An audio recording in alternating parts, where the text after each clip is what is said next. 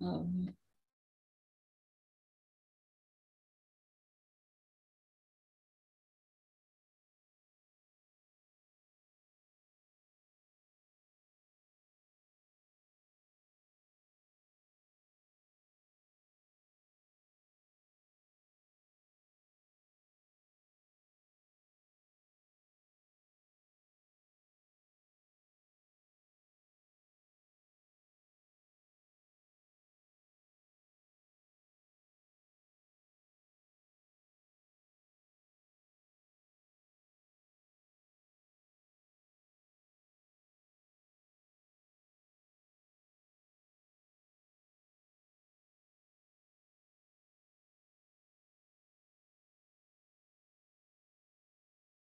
all please mute their microphones unless they are invited to speak.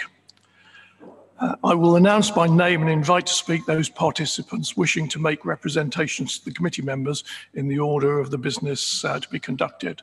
Uh, we'll have a short break at 8 p.m. if we haven't finished. Um, now, the Governance and Audit Committee really is the conscience of the Council uh, we ensure that everything that we do is done in an open and honest, efficient and transparent manner. Our primary functions uh, are to review the accounts and audit, approving the Council's statement of accounts and the Council's financial accounts, and review the Council's external auditors' reports. On governance, we look at the annual review of the of governance within the Council, including the effectiveness of the systems of internal audit and approve the signing of the annual governance statement. Other regulatory matters include matters to do with elections and bylaws, and occasionally we have to look at the standards in relation to members' conduct uh, to consider reports from the monitoring officer on the effectiveness of the members' code of conduct and to advise the council on the adoption or revision of the code. Uh, also, we receive referrals from the monitor's office, monitoring officer uh, into allegations of misconduct and determine any complaints um, that have been made. So we have a, a, fairly wide set of activities within the general definition of governance and overview. Um, can I ask the members of the committee to introduce themselves um, in turn, uh, starting with Councillor Burrows and working round? Hello, good evening, everybody. My name is Councillor Michelle Burrows, and I'm the local borough councillor for Wivenhoe Ward. Uh, good evening, everybody. Uh, David King, uh, the member for Mile End. Good evening, Councillor Chris Hayter, St Anne's and St John's Ward. Uh, Gerald Oxford, Highwoods Ward. Good evening, Councillor Adam Fox, representing Old Heath, the Hythe and Rowhedge. Good evening, Councillor Stephanie Nissen, representing the Green Party of Castle Ward.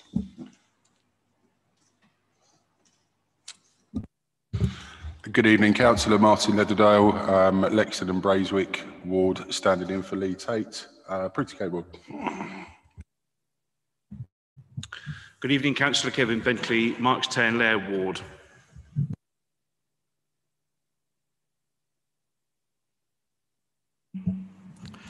Thank you. Um, on the matter of substitutions, we have one substitution this evening uh, where Councillor Leatherdale uh, is officiating in place of Councillor Tate. Uh, three urgent items. Uh, I've not been advised of any urgent items, and none have come in since we, um, we reviewed the matter. Uh, item four, declarations of interest. Does any member have a declaration of interest? Item five, have your say. Have any members of the public attended? Don't see any. So we assume that there are no members of the public. Minutes of the previous meeting, 23rd of March 2021. Uh, can I ask for your agreement that they are a correct record?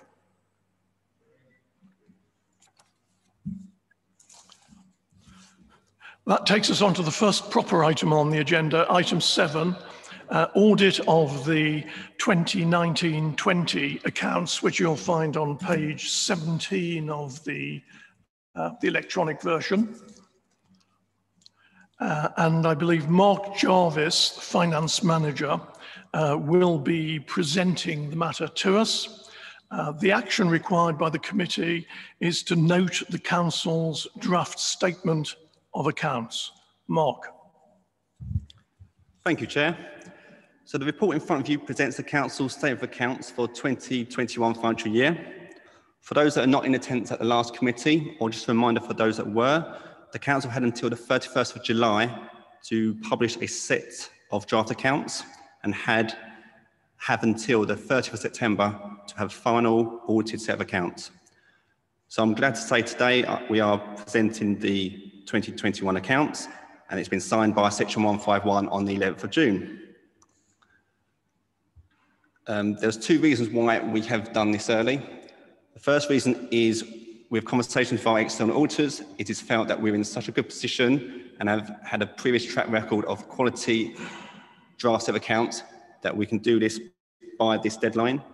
Secondly is, in order to facilitate a final set of accounts by the 30th of June, we need to um, have a draft set of accounts as early as possible to facilitate the audit, which is due to start on the 12th of July.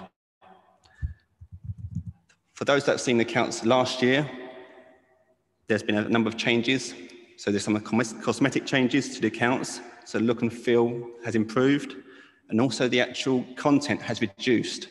So we've had an exercise for our external auditors following uh, recommendations that we've gone through the accounts and it's reduced by a third. As you're all aware, it's been a difficult year of COVID and the financial implications have, are set out in the revenue outcome report and the capital outcome report that follows. However, there's a number of aspects that has impacted our accounts this year. Given the impact of COVID, our asset valuations have been um, impacted in terms of the decrease in value of our assets, as well as the pension valuations that obviously is based on the assets and liabilities on mortality rates, for example. The other aspect to think about is also the collection fund that takes all our council tax and NNDR. So given the large amount of reliefs that we have given this year, there has been a significant impact on our business rate position. Producing accounts this year has been difficult, obviously with, with the impact of COVID and also all the impacts on the finances.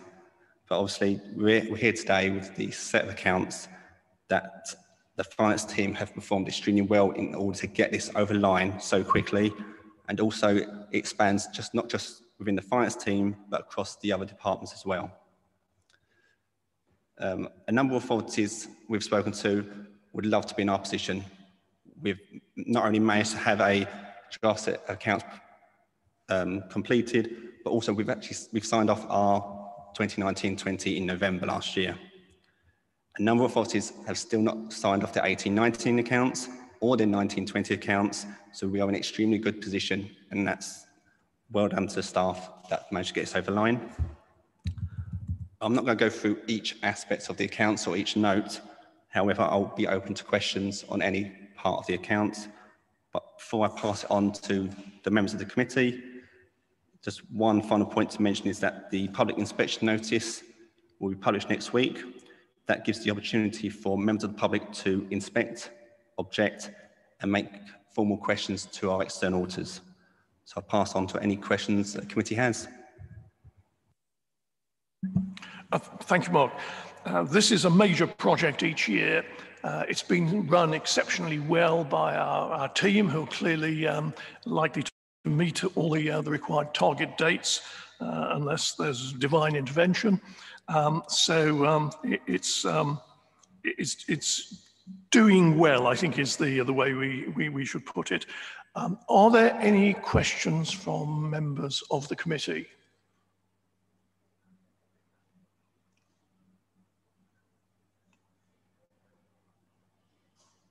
And given the amount of, uh, of scrutiny that's already been um, made into the accounts from the officer and senior management side, uh, it, it is improbable that we, with our lack of expertise in, uh, in the financial accounting standards, will, will find any errors, but uh, the matter is open to observation, or can we move on uh, and note the draft statement of accounts?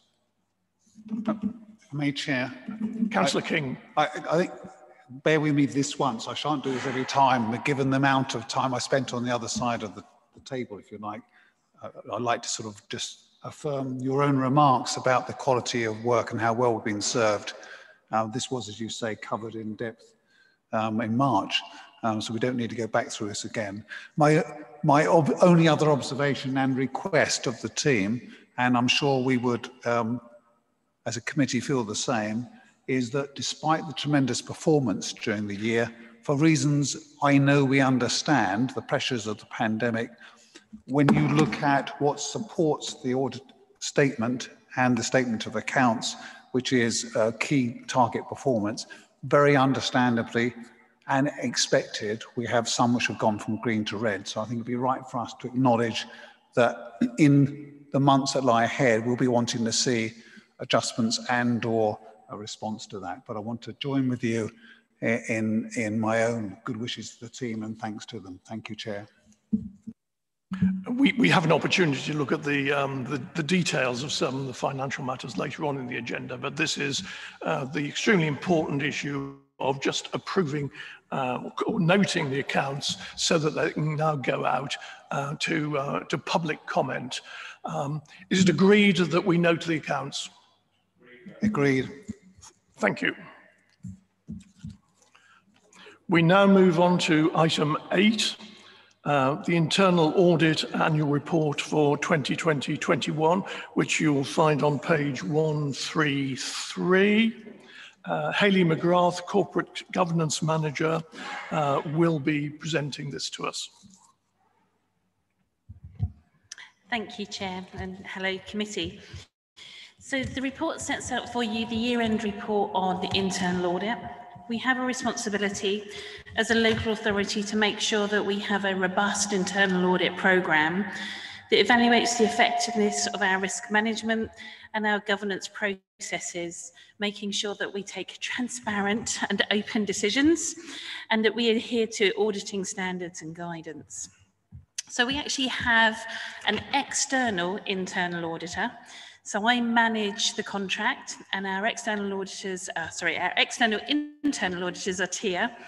And they, it's the first year this year of the contract. So they started at a very difficult time. So on the 1st of April, they took over the contract and they actually haven't been into our office yet, which is unusual for auditors. But I have to say the relationship that they've been able to um, maintain with the staff and they've met a lot of people online and using Teams has been great and actually the support they've had from the officers around the organisation in providing information has really helped them to deliver the service. So the report that they provide is known as the Head of Internal Audit Report, and that gives an overall assessment of our control arrangements. And that is one of the supporting documents for the next item on your agenda, the Annual Governance Statement. So they give us an overall assurance rating in terms of our systems of internal control based on the work they've undertaken during the year. So they had 25 audits, and out of those audits, 44% achieved a substantial assurance rating. Now, that's the highest level that you can have, which is extremely good compared to last year. We had a 33% level for substantial assurance ratings. And the number of limited assurance ratings decreased to one. So that was 4% of the overall total, which is down from nine last year. And we only had three urgent recommendations um, compared to 21 last year. The programme for internal audit has changed slightly. So it has been directed towards our COVID response. So some of the audits that we had undertaken at the beginning of the year were looking at the initial decision-making processes that we undertook and the service delivery during COVID and how we've changed some of those services quite quickly and quite rapidly. And what we wanted to do is make sure that when we moved very swiftly from a traditional office-based service to remote working and those systems changed, for example, payment processes, that we still have the right systems of control in place. And I'm pleased to say the audits that have been highlighted for you or set out in the report demonstrate that actually the systems of control were very good. So it's whether the committee have any questions or if there's anything that you would like further explanation of. Um, thank you, Haley. Um, can I also add that over the course of the, um, the, the, year, any priority one recommendation, um, an urgent recommendation under the, um, the new scheme of things uh, has been looked at in detail by the committee and we've asked for a, um, a, an explanation of the facts, the circumstances, and what has been done, because that was uh, seen as crucial uh, by the committee to understand uh, any really serious issues um, which were being uh, raised in the audit. No matter how many, how many times we read the report, um, it's always just before the, uh, the, the, committee starts that we notice uh, an error. Uh, and on page um, 141, the table, I think, refers to um, 2019-20, when it should be a summary of the audit for 2021. Uh, um, so if that can be uh, altered at some stage. Um, Councillor Fox has raised a point on Leisure World. Councillor Fox, could you uh, um, address your questions, please? Uh, thank you very much, um, Chair. Yes, I um, um, had just asked for some uh, additional um, assurance around um, the, um, the the one audit area that only received a limited assurance, and I understand that was for CCHL. Is that correct? Yes, that's right. And with CCHL, we allocate a certain number of our auditing days for them to choose what areas they would like to have audited. As a very small company, they don't, they're not of the size to have their own internal audit program, so we give them an allowance from our days. Those reports are for their management to take on board and to consider. And as they've been through the board at CCHL, they're now reported to this committee for information. With the Leisure World audit, it was actually identified by CCHL management that they wanted to review the arrangements around cash taking primarily at events because they'd realised there was a lot of cash transactions. They're very busy on the night and they weren't sure that their controls were adequate enough to be able to be classed as robust. We asked the auditors to go and review the systems during COVID, so there was no events going on, which was a great opportunity for them to take an in-depth look at some of the previous events, walk through the transactions, see how the cash had been collected and allocated, and make sure the systems were correct. What the audit found was actually more cash was banked than we'd actually said had come through the tills because of the nature of the event and the speed that they're taking money. I don't think all of it was properly recorded. And what we've done is put some very robust systems in place. And actually, they've got new systems now with the tills, and a lot of their transactions are cashless. So they're actually going to events where they're not taking cash anymore, which obviously makes the system much more robust than it was previously. But they took on board all the comments that were made by the auditors and they've made those improvements. And what I would say, it was their request. It wasn't an issue that we found as being a problem. Uh, can I say thank you very much and thank you for the uh, additional information that you emailed to the committee members as, as well. That's very helpful. Councillor Bentley. Uh, Chairman, thank you very much indeed. And can I just offer my congratulations uh, on an excellent piece of work. Any test of any local authorities' paperwork and documents is can they be picked up and understood by anyone? And this can be, and that is very important remembering we always do that. Um, I just, my question is on page 141 as well, as the chairman mentioned, but a very different point. Uh, taking the ranking of reasonable and understanding what that means, there's quite a few in there, I understand, but there's two that stand out for me. I just wondered if you could comment on. Uh, and reasonable means it's good, but there are potential risks. So I just wondered what we consider to be the risks around the risk management and what we consider to be the risks around HR and payroll, please. Um, I can talk to you obviously much more about the risk management side because I know the issues that were raised in that report. And it wasn't to do with our risk management principles and processes.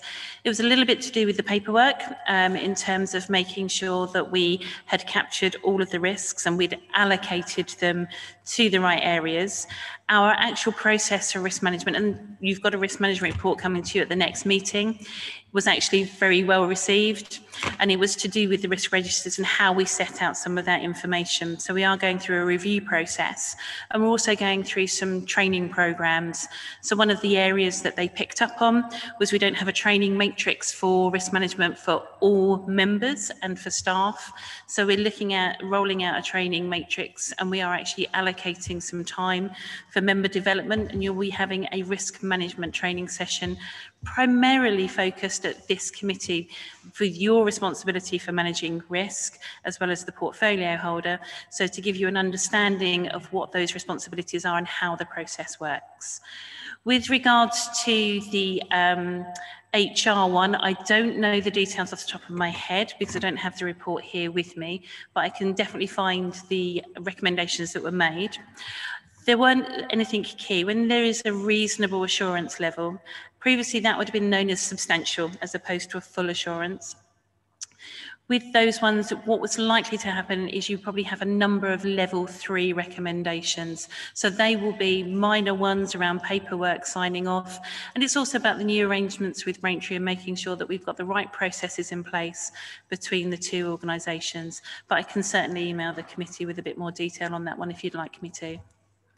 Chairman, May, no, that's too fine. I just want, you've answered the question superbly. I just think since it raises the question, we just need to make sure there's a note to it and you've done that. So thank you. Any other councillors? Councillor King. Uh, similarly, thank you uh, for the quality of the work as ever. Um, I would just be interested to the extent that you have your head around this, uh, Haley, with similarly with uh, the issue of key financial controls. I think in the context of what we're doing, accepting your description of what reasonable means, uh, any extra light you could shed on that would be good to hear. Again, I don't have the key financial controls report to hand, but again, it would just be level three recommendations. There would definitely not be any level one high level recommendations, um, but I will find out some more details and let you know.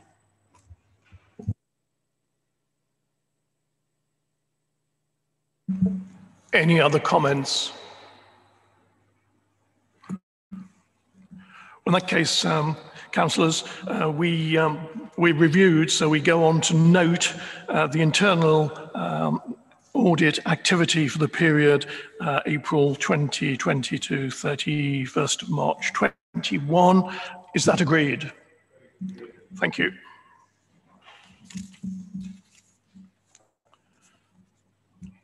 We then move on to item nine, uh, review of the governance framework and draft annual governance statement, which you'll find on page 143.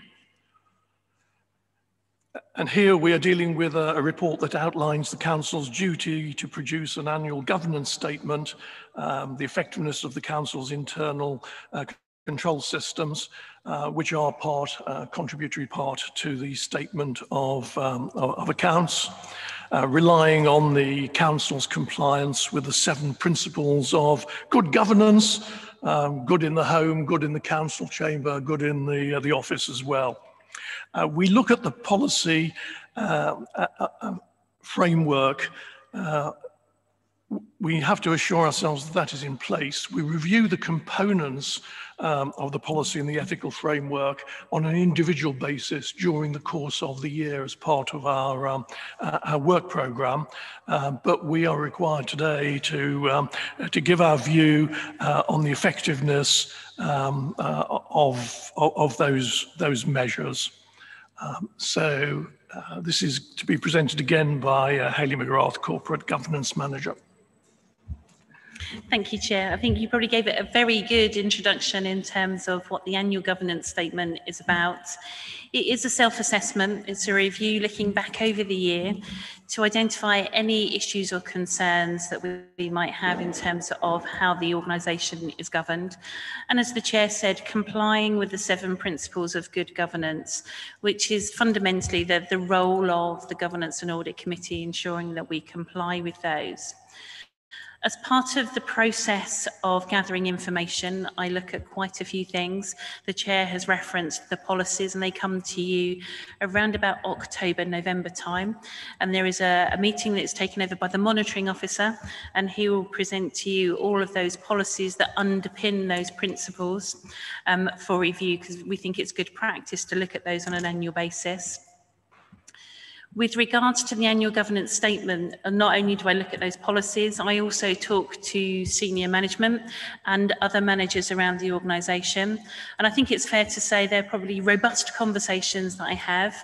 I have the opportunity to have individual sessions with all members of senior management, including the chief executive, and ask some really difficult questions about how they think the organisation has been governed during the year, and to highlight any issues or concerns that have been raised through the monitoring officer and myself during the course of the year. We also look at the head of internal audit report. Obviously, that's a, a big part of our assurance processes because if our head of internal audit report highlighted that we weren't achieving a, a good, robust system, then obviously there would be concerns for the governance statement. So we have to produce a statement and it's set out in a format that's specified by CIPFA, and that's attached for you, uh, Appendix 1. It's wordy, but it gives all the details that CIPFA require in terms of the areas that we've looked at and our commitment to making sure that we have resilient um, controls in place. As part of the process, we also look at the relationship with our companies, um, Colchester Homes, the CCHL and the Amphora companies, and also Colchester Community Stadium Limited. We also look at our partnerships, and that's the Joint Museums Partnership and the North Essex Parking Partnership, in terms of how they are managed and how they feed into our systems of control and the effect that we actually have on them as well. As a result of all of that, we highlight any areas where we feel that there could be concerns, not necessarily where issues have happened or things have gone wrong, but where we feel the systems of control could be improved. And they're not necessarily items that are picked up in audit reports. So um, quite often, if you have a, a high level audit report, we will pick up that issue because we monitor the governance statement going forward. But the items that we've identified this year are areas where senior management team and other managers have recognised that there are potential issues in terms of the robustness of the system, not necessarily because of anything that the council does, but because of outside influences. And we actually put those into the statement. So the statement includes a review of the items that were highlighted last year and gives a summary of how they've been managed and also sets out the two items that we consider are important issues for us to continue monitoring during 21-22. The first one is a really key item in terms of IT. So we have potential cyber attacks all the time, not just Colchester Borough Council, but every organisation across the world is subject to these cyber attacks. And we have to make sure that we are robust enough to be able to defend the organisation and the, the controls systems when those attacks happen. So in terms of, we highlighted we did have um, an attack last year that caused us some issues. It was resolved and we were able to deal with it, but we've just recognised that we need to keep continually improving our responses to those issues. The other item that we've highlighted is partnerships. Now, the, the pandemic for us highlighted the need for those effective partnership arrangements. Our community partnerships were so critical in providing a response to our residents at a time of crisis. And actually, what we recognise is we have a, a, wide range of partnerships. We just want to formalise that slightly and just make sure that we have a robust referral process in terms of knowing who our partners are and the relationship that we have with them. So it's a bit of a review of our partnership arrangements, and we'll be undertaking that during the year. So attached to Appendix 2 is an action plan highlighting those two items, and that will be reported back to you around about November time in terms of the actions that have been undertaken and how um, we've improved those systems. And what I'm asking for you to do tonight is to agree those items and agree the statement. And once you've agreed it, I can arrange for the leader of the council and the chief executive to sign the statement off. And as the chair says, that will support the statement of accounts. So it's whether you have any questions.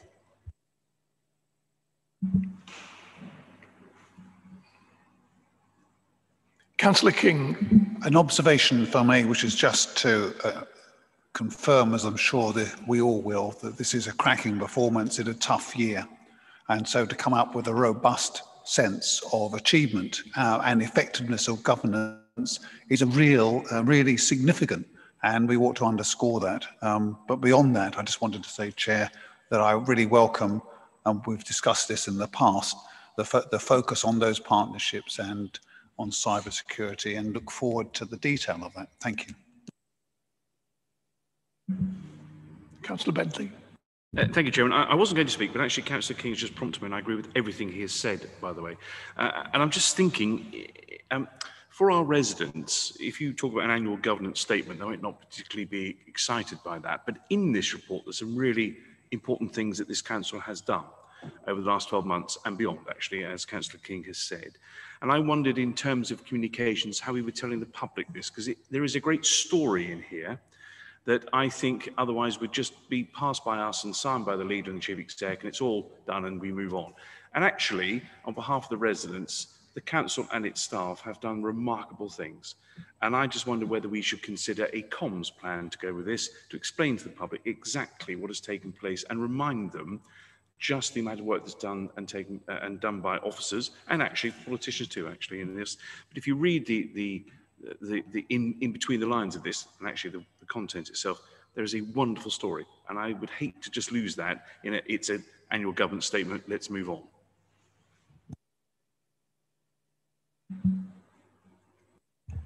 uh, yes chairman i was just going to say to councillor bentley thanks for the observation i think it's very helpful i'm more than happy to pick that up with Councillor Dundas as the leader with, with the portfolio for communications and see if we can do something on that. That's excellent. Any further contributions, colleagues?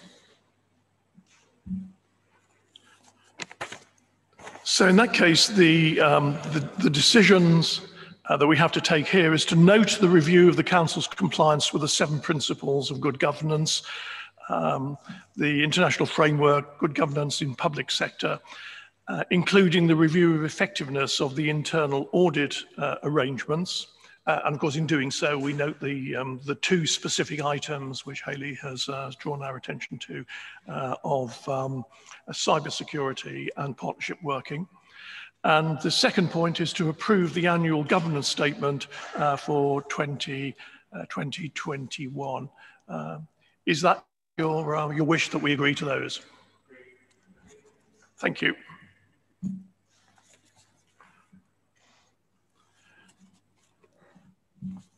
We now move to item 10, uh, the financial regulations for the uh, next but one financial year, 2022-23, uh, where we move forward to page uh, 155. Uh, and here we are considering um, how we should update the financial regulations um, going forward from that particular year. Uh, Paul Cook, do we have Thank Paul you. online? Yeah. Excellent. Paul, um, can you guide us through the, uh, the salient features that need updating uh, in the financial regulations? Thank you, Chair. Um, it's been quite a while since the financial regulations were comprehensively updated, uh, which we should really do every year as part of the budget process. So this time around, uh, we're putting forward some recommended changes in good time so that they can be approved in turn by the council well ahead of setting the budget for 22-23. Um, could just highlight the main areas of change. Firstly, since 2017, uh, a lot of the post designations have changed, and some of the things that used to be done in the council are now done by Amphora. So that's one main area. Um, the provisions on the external audit process got pretty out of date because the audit commission was still around during the last edition. So all that's been brought up to date. And then I think the regulations didn't really correctly set out our budget process because we have an integrated budget approach based on our strategic objectives rather than individual portfolio holder budget proposals.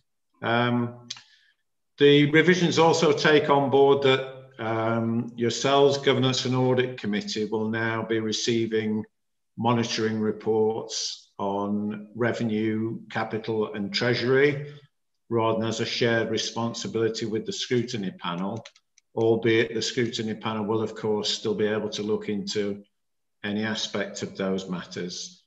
And we've also took the opportunity to tidy up the process on capital, put more emphasis on a good business case for every capital project, and how we manage the program in year. Um, the last area of proposed change where I've had some comments is on budget transfers, um, where I was proposing to make quite a substantial increase in the level um, of decision making for portfolio holders, directors, etc because it was a long time since the limits were changed. Um, I've done some more research, and the vast majority of uh, budget transfers are actually what term technical transfers made by the head of finance, things like allocating pay awards or setting up a new cost centre where we get external grant funding. An actual use of the virement facilities by portfolio holders and directors is very limited, very seldom. So if it would assuage some concerns about uh, allowing large scale budget transfers without reference uh, to members, I'd be quite happy either to stay with the virement limits as set out in the 2017 edition, or perhaps just double them because of the passage of time. Um, but that's something you may wish to discuss. Um, so that is, in a nutshell, chairs uh, the proposed new financial regulations, which, after amendments by yourselves, would then be referred on to council uh, for approval. Thank you.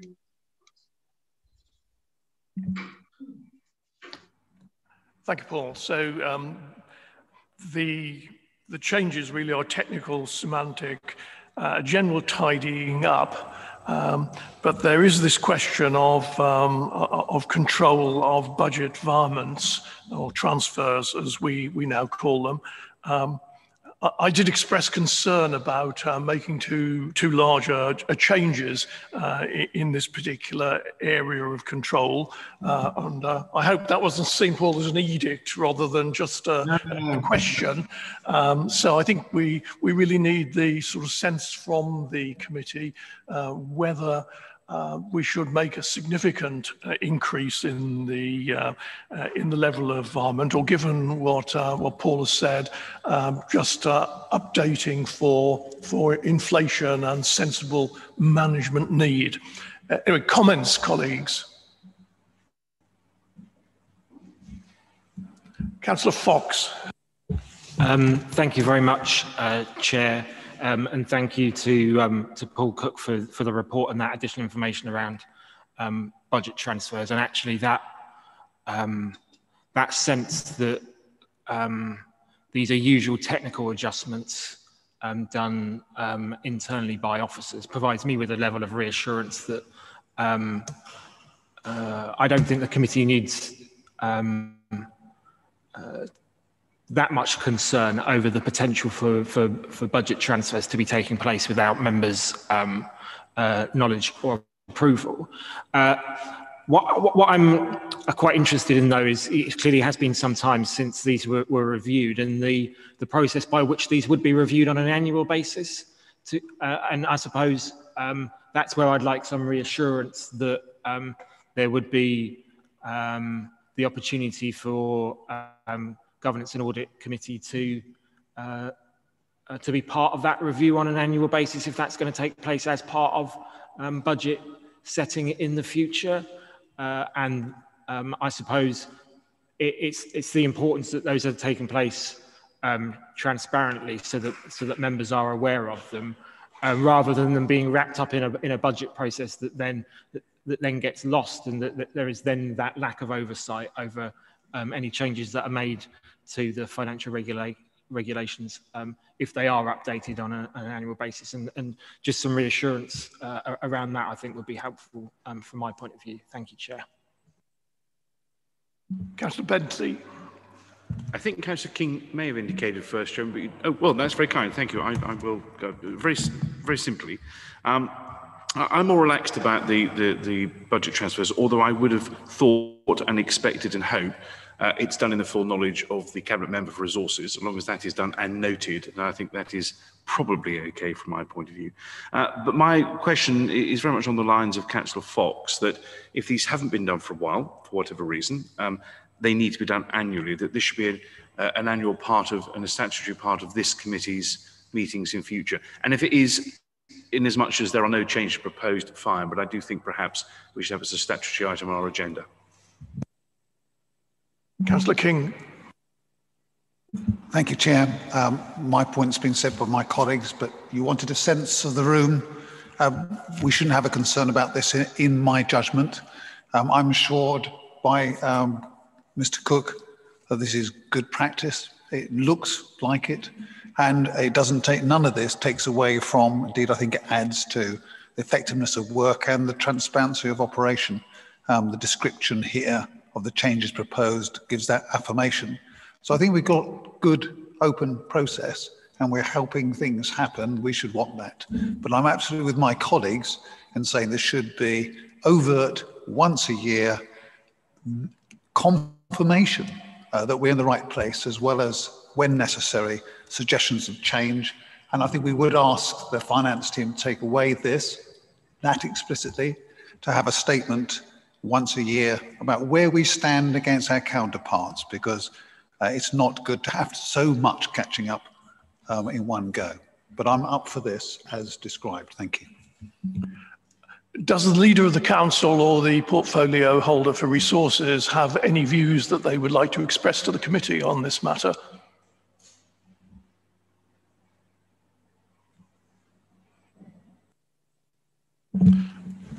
Paul, are you able to um, to respond to the question, respond to the comments by councillors? Um, thank you, Chair. Yes, I mean, I think it is unfortunate uh, the revision has been so long delayed.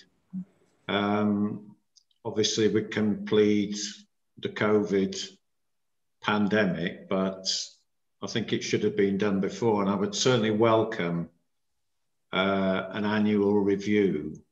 I think this sort of stage of the um, municipal year is probably about the right time because then all the issues would be clear cut before we start the budget in earnest rather mix the two together. So, you know, I really welcome that if we if we sort of put this as an annual um, target to come forward with any changes, um, I think that would be very strong.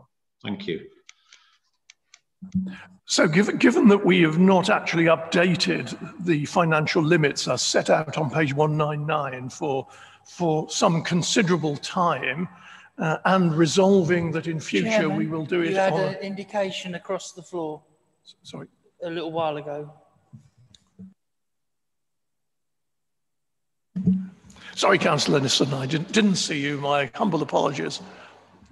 Thank you, Chair, and thank you, Councillor Oxford. Um, as you asked for a sense of the, the room, um, I wanted to reiterate my support for um, Councillors Bentley, Fox and King in terms of the annual um, consideration by the Governance and Audit Committee for um, looking at those limits.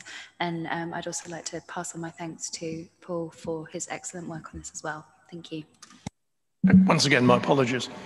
Um, would an acceptable way forward be to adopt the, um, the financial limits set out in the table on one, page 199, but resolve that in future it will be reviewed by this committee on an annual basis?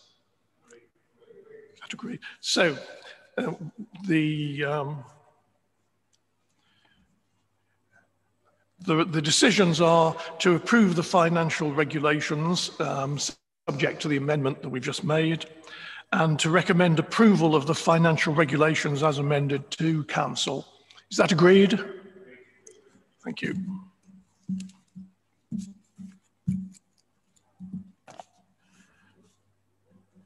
We then move forward um, to page 201, um, the Finance Monitoring Report, um, where the committee will consider a report setting out the financial performance of the general fund services and the housing revenue account uh, for the year 2020 uh, 21.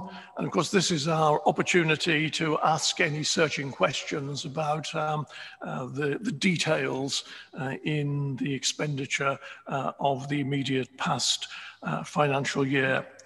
Paul Cook, Head of Finance, is presenting, I believe. Thank you, Chair. Um, probably the best way into this report is to look at uh, section 5.1, which is a summary of the general fund revenue outturn for the year.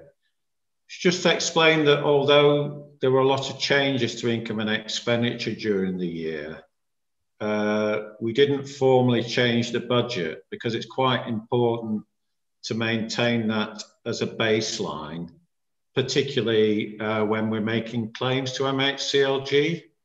So there are some rather large swings which are set out in this um, section. So there was an overspend on the general fund of 7.972 million. Uh, predominantly, this was due to less income than assumed when we set the budget in areas such as car parking, sport and leisure, um, and our commercial investment properties. Um, but then we had excellent support from the government. We had 8.9 million of government support. So that counteracted the income losses to all intents and purposes.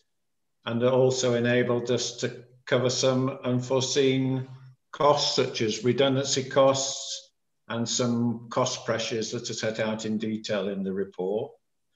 And then we also had some year-end adjustments. So as you might expect, we had to make an increase in the bad debts provision. Um, we were also reviewed by external audit last year on our investment in Amphora Energy. And because that project is uh, delayed, um, we've made some minimum revenue provision on the advance that is part of our capital expenditure. And we've also increased our general fund minimum balance um, because we always maintain 10% of our net expenditure. So taking all those uh, large factors together, um, we had an overspend of 38,000, which I think is a very good result by services given all the um, difficulties of COVID and managing the situation. And then um, the rest of the report and the appendices set out in some detail um, the slight overspend analysed in various ways. And on housing revenue account, um, we can carry forward the underspending to next year to carry on with our capital programme. So I think on balance, quite a good result in a difficult year and would welcome any questions on the report, Chair. Thank you. Thank you, Paul. Comments from colleagues, questions? Councillor Bentley. Uh, well, just confirmation from Mr Cook, if I may, really, and thank you for another excellently well-written report, uh, as they all have been and are in, in this meeting. Um, I just want to clarify that the amount of money the government supplied uh, through grants actually cover the, the, losses of all those services that we would otherwise expect income from. I just want to make sure, because it's in the paper, just make sure absolutely I've understood that, that the government did actually produce money to cover the, the, the losses we would have incurred through our commercial activities. Um, thank you, Chair. That, that, that is the case. I mean, it came in two different types of support. One was the income loss grant proper, which meets 75% of any income losses. But we also had general grants without any conditions. So taking the two together, we had more government support than we lost income. Thank you. Yes, but to, to, be absolutely fair, we didn't actually make a profit of, uh, of, one million pounds because we uh, the, uh, the the service budgets were 7.9 million over because of COVID. Government paid us 8.9 million pounds in grants, but there were other costs such as redundancies, uh, which. Um, which also had to be covered. Um, so overall, it looks as though it just about balanced out. Um, but um, yes, there certainly was generosity on the part of government to ensure that uh, uh, that we didn't uh, even have to dig into reserves, as I understand it.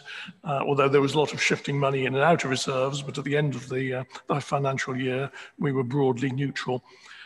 Um, so it was a, a, a well-managed year. Uh, looking at Councillor King, of course.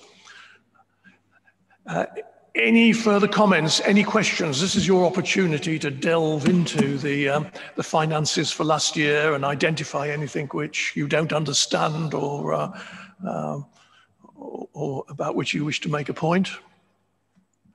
Councillor King. Thank you, Chair. Thank you, thank you Paul, and, and the team. Uh, an extraordinary year. Isn't it lovely that it kind of balanced out? I don't think any of us thought that as we were going through last year. Remember those scrutinies uh, Councillor Bentley, that we enjoy one after another. Um, it's good that we're in the position we're in now. And my question, Chair, is really about the future.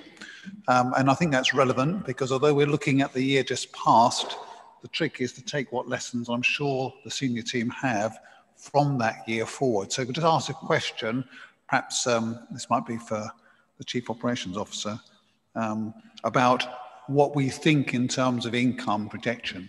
Uh, it would just be good to hear, given the whole last year, what we think we're seeing now and what the projections are. Thank you. Uh, yes, thanks, Councillor King. Uh, Paul might be able to give some more precision on the figures, but I would say that uh, we have, for this year's budget, built in an expectation that income will not recover 100% to what it was pre-pandemic levels. For example, on Car parking, we're forecasting a reduction of income over the year of about 1 million. And after two months of this financial year, it's looking like we're not far off that figure.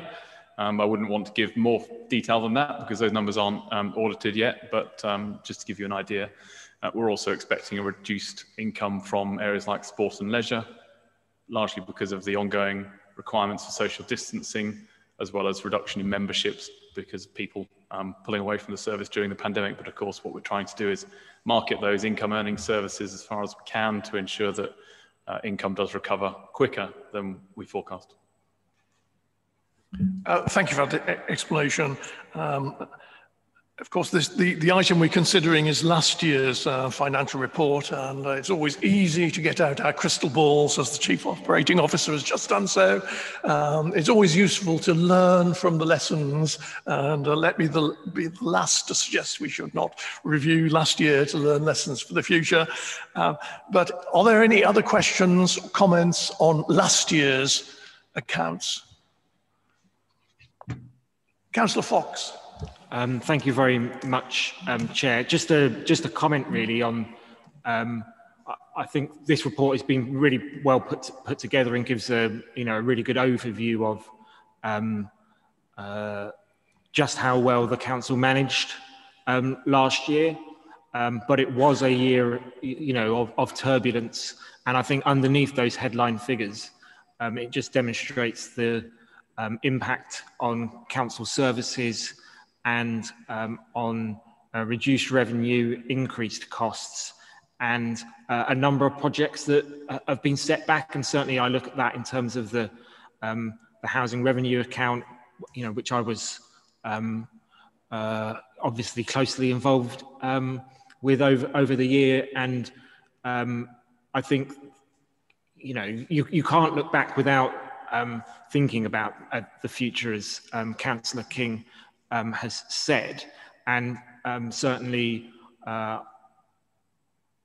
I think the, the impact of the last year continues to be, to be felt in the delivery of a number of um, projects, and particularly those big capital projects and that big capital expenditure, um, some of which uh, was inevitably um, delayed.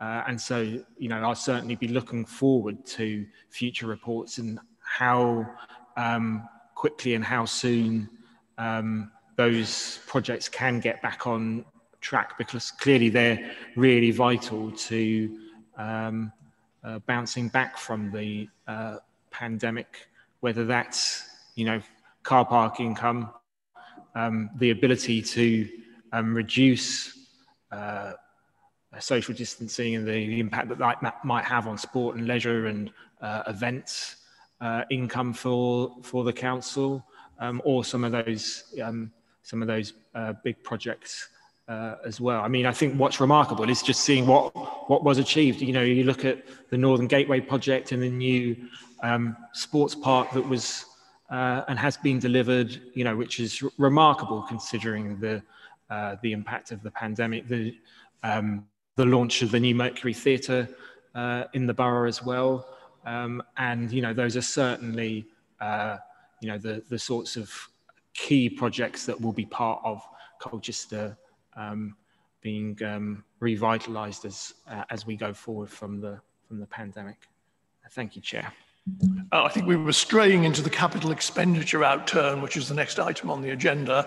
Uh, but I think we can carry forward all your uh, gracious remarks about the, the capital achievements uh, of the past. And of course, the housing revenue account, we, we tend to gloss over that and, uh, and look at the general fund. But the housing revenue account um, um, broke even, was well managed, and um, and continued on a good trajectory for our, our, our tenants and, and leaseholders. Uh, any further comments on the financial monitoring statement for the year end?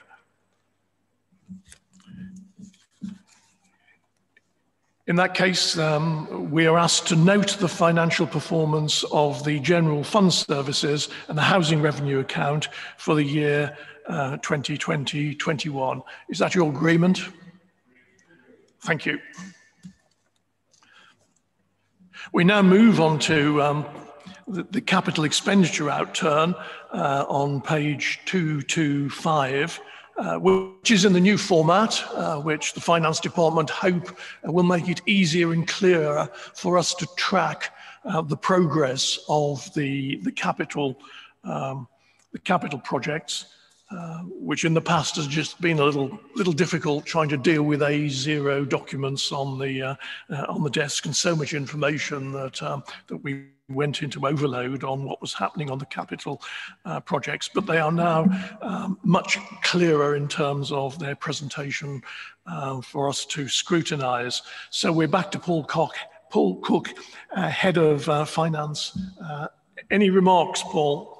Um, no, just very briefly, Chair. Um, the table under section 5.1 uh, sets out what we actually spent in 2021, and obviously COVID had quite an impact because of uh, changes to construction methods.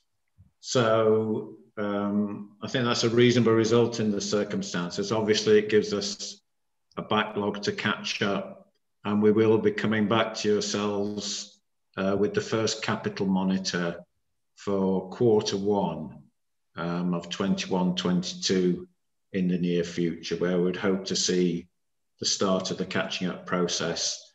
And then, as you say, Chair, we've got the appendix where we've got uh, RAG ratings on the schemes.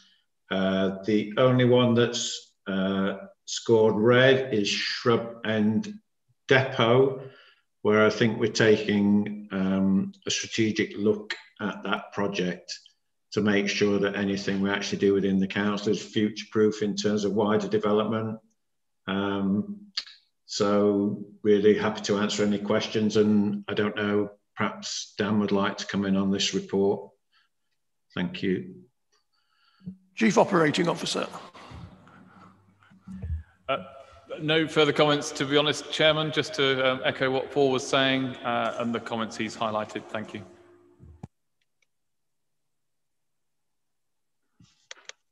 given us an excellent uh, exposition uh, of the highlights of the capital programme from last year. Uh, do any colleagues have questions on the overall uh, capital um, outturn or individual schemes within the, uh, the programme listed? Councillor King. Thank you. Thank you, Chair. Um, I, I, would just like to, to ask for a little bit more information, either here or away from here, Chair, about the Shrub End uh, depot. I've been through the comments at the back. I think um, my question, Dan, would, would, would be knowing that this has been several years in the making and, and that there is a, an issue for, for us as councillors who care about the service and, and the tough conditions for the people who deliver it uh, would be that whatever the adjustments or the review, that there's a genuine commitment and a plan to carry forward change that would improve those conditions. And I know that that was taken personally by you, Dan. I think it'd be very helpful for us all to hear a bit more flavour about where we are, what we think is going to happen next, accepting what the words say, which there is a review. Thank you. I'm happy to give a, a bit more flavour, Councillor King. Uh, the, uh, the proposals for Shrub End Depot uh, were um, certainly uh, quite far progressed pre-pandemic, uh, about 18 months ago, and obviously significant operational changes and pressures have led to that work being delayed. Uh, it's true to say that the operating processes we have at the Shrub End Depot have changed fundamentally, actually, as a result of the pandemic. For example, the fact we have separate crewing out areas now, whereas uh, we used to have one uh, single mess room where all of the staff would gather together every morning. Clearly, that is not uh, something that we would encourage these days the, with COVID security. So that's important. Uh, we have um, a number of proposed uh, uh, changes that we would like to make, we need to make for operational reasons that are quite urgent, for compliance, and for welfare of uh, staff um, working on the site. So there are some changes which, is, uh, which will be being made this financial year, but we're also conscious that the site has the potential for a more strategic review of the operation to ensure that it's uh, working seamlessly with and alongside the county council's operations uh, adjacent to our depot. So that's part of the longer term view, uh, uh but the immediate works will be going ahead now. Is that acceptable, Councillor King?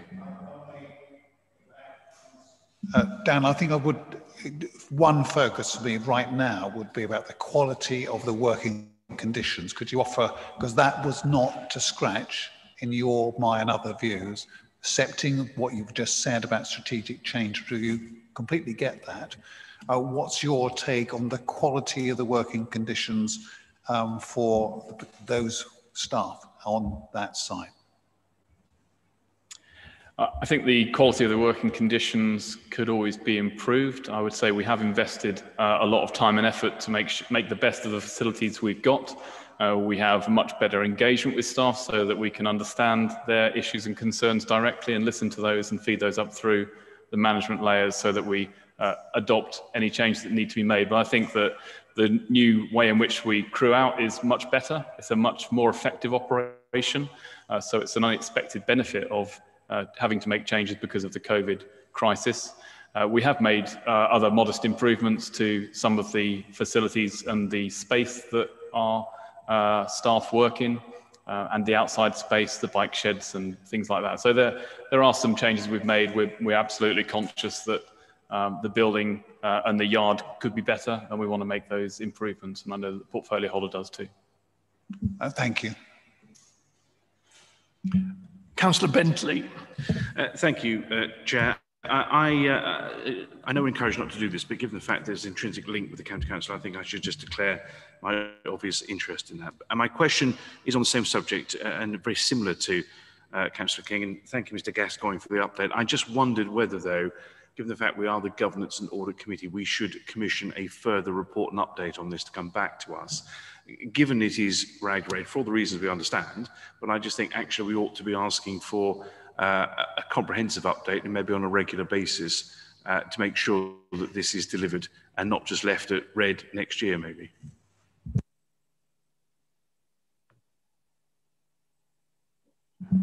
we would have the options of either asking for a specific report now or asking that the item come back as a, as a, a, a line item on a future work programme.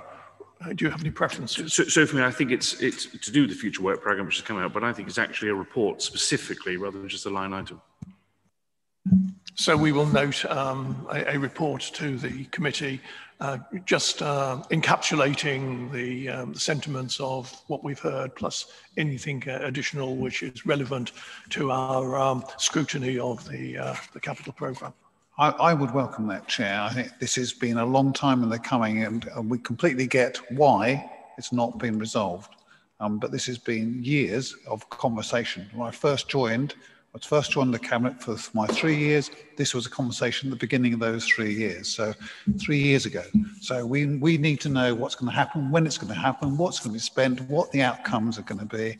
Uh, and I think that's a legitimate request, and that allows space for the strategic work and review that's been talked about. So I would welcome that. Can I ask whether the leader of the council or the portfolio holder for resources has uh, any comments on this matter?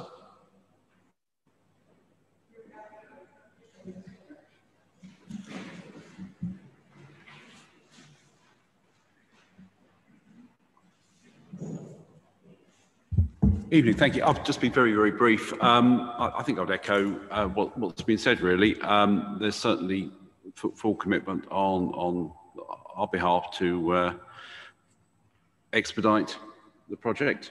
Um, you know, I think we, we discussed it last year, actually, at, at this committee, I think, probably at this juncture, uh, and when we were looking at the same uh, agenda item, um, online, though, then.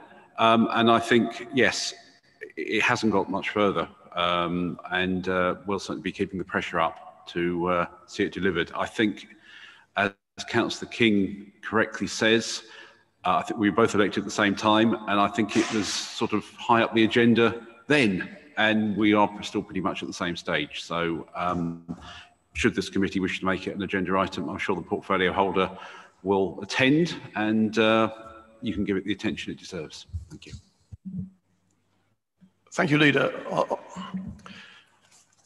are there any other comments from members of the committee? Councillor Fox. Um, thank you very much, um, Chair. And I would echo that I know the goalposts have moved over the years, but I think since I joined the council as well, this um, um the Shrub End Depot has been a, a project requiring um, some work um, too.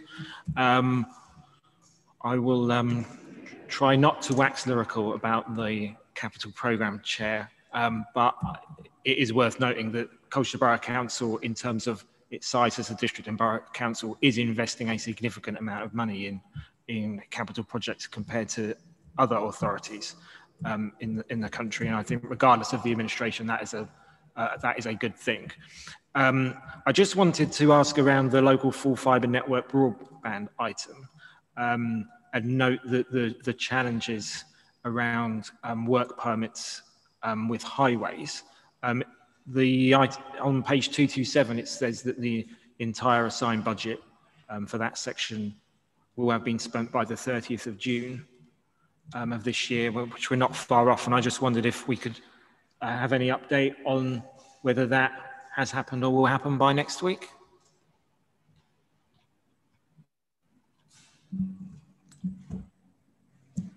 Do we um, this is an operating issue or a finance issue? I, I, I sorry, I, I can get back to Councillor Fox and the committee with a, a report on that. The last I heard was probably about two weeks ago and it was on track. So happy to provide an update. Thank you. Any other comments? Portfolio holder for resources. Uh, thank you, Councillor Woods. I just wanted to give some reassurance to the committee on the, the Shrub End site. Obviously, it's in my ward, it's in my division as well. Um, and the first question that I always ask is, what are the operatives saying? You know, what do they need? What are their wants?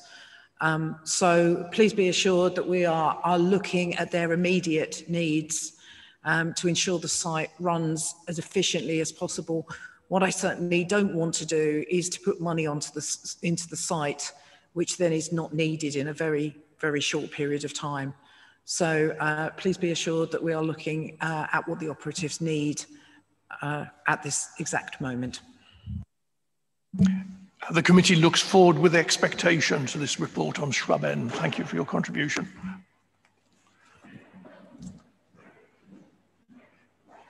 Any further questions from colleagues? In that case, can we move to agreeing the, um, the decision? Um, two parts here. An additional part, we have asked for a report on Shrub End, which uh, uh, will be delivered. And the second uh, part of the decision, uh, we've reviewed the progress of the capital programme uh, as set out in the report, of the associated spending for the financial year and the budget forecast for future years. Uh, and we re reviewed the, the RAG rating of each scheme as rated by the relevant project manager. Uh, is that decision agreed?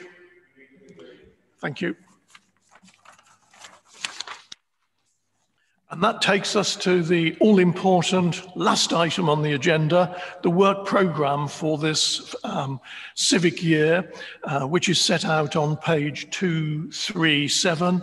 Uh, and um, Matthew Evans, Democratic Services Officer, will be outlining the, uh, the issues facing us. Um, thank you, Chair. The purpose of this report, members, is simply to make you aware of the proposed work programme for the forthcoming municipal year. And it's your opportunity to comment um, or make any suggestions that you might wish to, or simply note the comments. Um, we've already determined to, we'll add in an additional item um, on the Shrub End Depot project. Um, I think that's possibly something, the timing which would have to be agreed with officers outside the meeting. Um, but that's, that's it for this report. If you have any comments or questions to note. Yes, well, mo most of the items on our, our, work programme, which is on page 238 and, uh, and following, uh, are what I call the natural rhythm of the council. Things happen, uh, we have to review, we do things, and council uh, uh, takes on our recommendations. So it's um, the the, the, the, items which come along are sort of fixed in the sand by, uh, uh, by external forces, uh, and we, we just have to get through that work program. But it's essential that we add to the work program any relevant issues which, uh, uh, which councillors feel we should be looking at as the Governance and Audit Committee.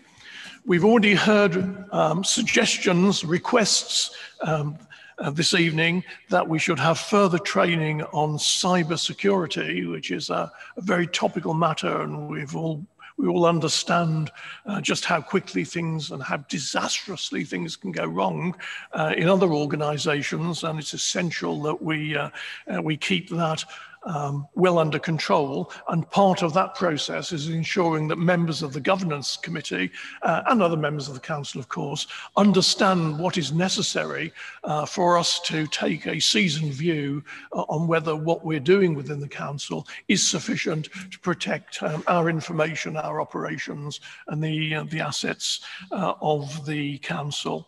Uh, and the second point that was mentioned was that we need um, some training on risk analysis, uh, which uh, is quite a difficult subject to apply um, to, um, to the council's operations. It's probably easier to, uh, to apply it to industrial processes, but we have to, um, uh, we have to have a, an assured risk analysis program uh, for the overall operations of the, uh, of the council. And again, it's important that we understand those issues.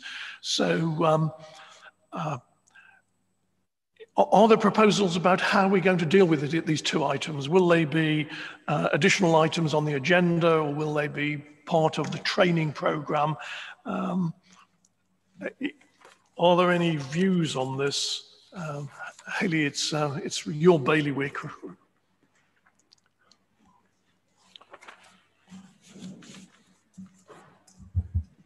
Thank you, Chair. With regards to risk management, what we're proposing to do is add a, an item on the member development programme in the formal training schedule and it'll be open to all members members but primarily directed to members of the governance and audit committee an overview of risk management at colchester an understanding of our processes, an understanding of how we draw that information together, the role of senior management team, but also an understanding of the responsibilities of this committee. So that will definitely be a members training programme item.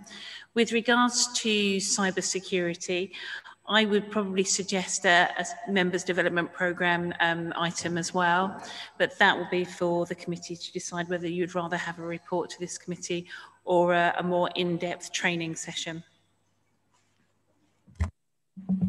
Councillor Bentley. Uh, well, I was actually going to suggest exactly what we've just heard. Uh, I agree with that completely. Uh, my view is any training should not be part of a committee meeting because you need to look at something and deal with it in a very different way, and you're learning. So you're not uh, you're not uh, scrutinising, you're learning. So I think, from my point of view, they should be separate member training sessions. My, my other comment on this, just looking at, and it could well be that it's done this way because reports will have to be uh, programmed in a certain way, but looking at the 19th of October, which looks quite light, compared to the 23rd of November, which looks like an all-nighter to me. I'm wondering whether we can move some of those reports round so it evens out a little bit. There is a degree of natural attrition with items on the agenda. Sometimes they're there, sometimes they're not there. Um, so, but I think we, we take on board your very sensible statement uh, or suggestion, uh, Councillor Bentley. Uh, Hayley. Yeah, can I just clarify the November meeting? There's a lot of items on there, and that's what's known as the monitoring officers session. So they're all the policies and procedures that form our governance frameworks and our ethical governance policy. Um, they don't tend to take too long. What we do is do a quick overview for you, run through the policies and procedures and make sure you're happy with them. They're just the, the annual review, but they all form part of that framework. So it's appropriate that they're brought together. As I say, the monitoring officer tends to take over that session and we run through them quite quickly. So we like to keep them together. Um, it does make that agenda a little bit, look a little bit heavy, but actually it does make sense on the night. I totally understand that. So I'm thinking, keep that there, but things like the Treasury Management Report uh, and the capital monitoring reports, could that not be moved? So then you just have one evening just with the monitoring officer then? We found in previous years is to do with the timings of the statements of account and the audits that are undertaken by the external auditors. They're not able to produce them sooner to take them to the earlier meeting because it would make more sense to take them to the October one. But because of the, the formal timings of external audit, they go to the November meeting and they have to be scheduled on that one because we have to publish them by a certain time. So I think we're back to the natural rhythms. You know, the, the, the audit work has to be done at a, a particular time. Councillor Fox. Thank you, Chair. Um, I welcome the opportunity for some additional um, training for the committee. I think that's um, a good idea. Um, if um, Councillor Bentley is looking for more items to add to the October meeting, can I suggest that we do actually ask for a report um, on uh, cybersecurity to be brought to the committee because I think um, it is an increasing area of risk for um, um, the public sector in general, um, and, and uh, as a result, um, this authority um, as part of that. Uh, and I think it would benefit us having that information in the public domain to reassure our residents that the authority is taking the issue seriously, and, and so that we as a committee um, can really look in depth at how um, uh, to reassure ourselves um, also that um, we're, we've got everything in place um, to, uh, uh, to, to secure the authority in that in that domain. I, I, do think that this is going to be an increasing area of of risk as well for us, uh, and I think it's right that we that we do um, ask for a report and to be provided to us uh, in public. Um, so cybersecurity and risk analysis are both going to come up, I guess, um, uh, as part of other items on the agenda. Uh, risk analysis, certainly. Um, cybersecurity, um, a, a, very sensible proposal that this is a, a, an ever increasing threat to all organizations and uh, we should understand uh, just what it means uh, to the council. Um, that will be delivered then in the form of um, training program and also uh, a committee report. I do have just uh, a, a, tinge of worry about uh, a report on cybersecurity in this council on the public domain. If it's really bland and doesn't really you know, it just gives us a warm feeling. Um, that's fine. If it's going to go into any detail about how we secure the systems and what is done, then I think we would need a conversation with the chief operating officer about whether that should be taken in part B of the uh, um, of, of the report. Uh, I I understand Councillor Fox's desire that it should be done in public so that there is reassurance from the uh, residents of the borough that we are properly managing their data and their information. Uh, but I can see dangers and I think we need to, to consider offline just how that issue should be dealt with. But I sense it is the wish of the meeting um, that we include a, a, an additional item on cybersecurity uh, on the agenda. Councillor Bentley was first, uh, then Councillor Oxford, then Councillor King. Uh, uh, Chairman, I would absolutely agree with you on that, although one would hope no report is ever bland that comes to this committee or any committee come to that, but I take the point, perhaps it should be in part B. I thought we were being offered training in cybersecurity. That's why I made the point it should be a training session. If we're talking about a report and training, okay, I accept what you've just said and what Councillor Fox said, but I thought the substantive point was on training, unless I've missed it, which I think ought to be separate and we should be trained separately. Councillor Oxford. Thank you, Chairman. I was pretty much what uh, Councillor Bentley's just said. I think we should have the training first and the any report that comes should be on the yellow um, because obviously we need to we don't need to tip our hand um, uh, to the um, very able people who um, are scamming people left, right, and centre, etc. So I think if we train every, everybody first, then they, they might have the information on which to ask more searching questions when uh, the report comes on yellow. Are there any other questions from members before we have a response to that? Hayley. Thank you, Chair. I think you're quite right. What we will do is have the training session programmed in hopefully in the next couple of months. So we can give you an overview of your responsibilities for cybersecurity and how we do it at Colchester, and then bring a more general report to you later on in the year, to the October meeting, and also looking at how we compare to other organisations that are similar to us, what standard practice out there at the moment, what's good practice, and how we compare to that. I think that's a conversation in terms of actually what we do and how we do it. Um, we would need to consider whether that is something that's appropriate even on a Part B item. But obviously, it's a conversation that we can have with you at the training session and take a view on how much detail you'd like us to go into for the report. Chief Operating Officer, are you happy with, uh, with that approach? I think it's an excellent suggestion, Chairman. Yep. So I think the training session, we can program it on the work program for October and at the training session agree uh, how we want to handle that at the October meeting to ensure it doesn't compromise the Council's security. Are there any other observations or comments on our, our work programme for the rest of the civic year? Can we agree the work programme with the amendments that we have just discussed? So, thank you. And that brings us to the end of today's um, agenda. Uh, can I thank you for your attendance and hope you have a safe journey?